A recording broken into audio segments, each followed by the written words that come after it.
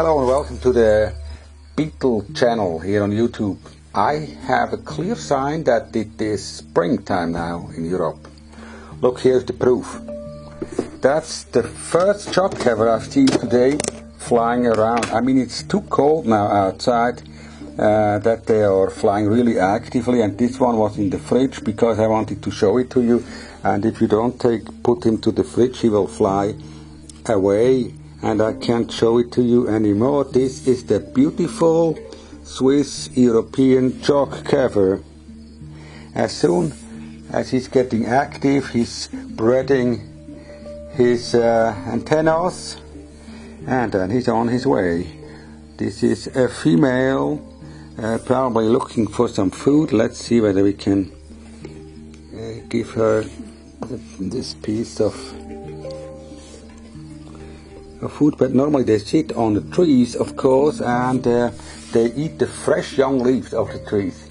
Now it's sprouting everywhere, and I found uh, this uh, cockchafer beneath uh, an oak tree that is now just uh, pushing out the new uh, leaves.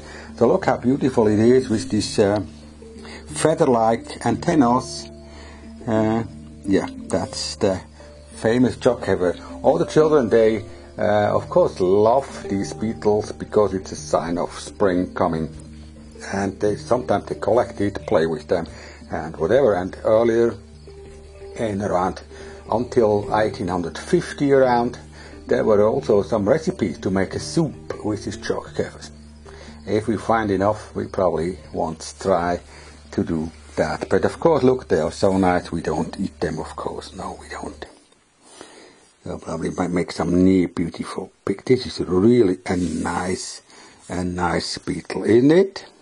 So everybody's happy uh, to see him. But I wanted to show you something else because 3rd of April I had uh, this uh, pupas of Dorcus curvidens, so now I put him back because as if, if it's waking up here, put it in this box here, they can eat something. So I had this uh, box here with Dorcus curvidens. You remember? If you go back in the playlist about Dorcus curvidens, uh, you will of course see it. So now, I, today, I'm really uh, not patient enough to wait. I want to see something.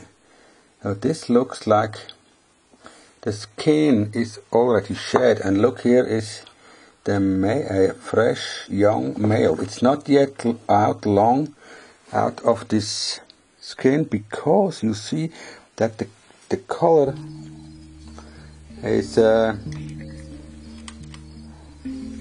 is a little brownish red. It's not completely black as you can see here but of course now this is very nervous because it doesn't want to be exposed to this uh, light here it's a nice Dorcus curvidens, isn't it?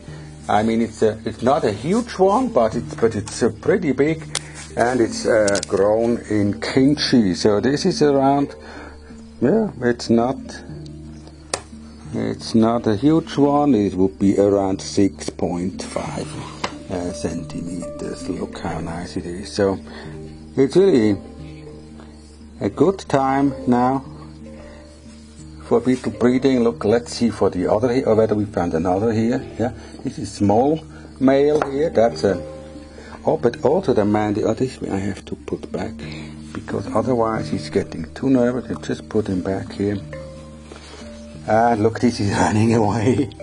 So this is not so as big as the other one, but already active also. So of course they are very shy also in nature uh, in Japan, because this is the subspecies binodulosus, you hardly ever see them because they are so shy whenever you uh, come close to a place where they live inside of a tree hole or something like that. Of course, they just uh, run away and they, they, just show up. This is still a pupa, so that's it for the moment. Yeah, it's springtime here. Keep watching my videos here in the Beetle Garage and all the best out to you. Let's be happy that it's springtime again.